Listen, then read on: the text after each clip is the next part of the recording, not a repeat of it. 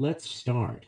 This question reads A 22 year old college student presents at the ER complaining of difficulty speaking and the inability to swallow.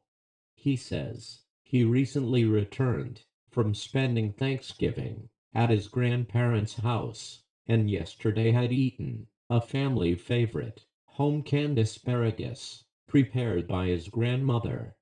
He denies other complaints and was in his usual state of excellent health before the onset of symptoms.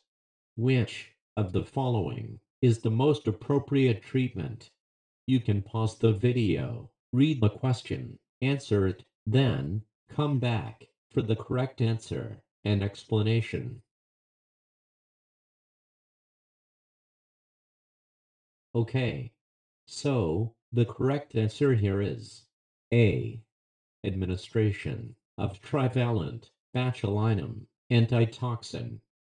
The patient has symptoms of botulism caused by exposure to Clostridium botulinum toxin, which may occur following ingestion of improperly canned low acid content vegetables, such as asparagus, corn, beets, and green beans.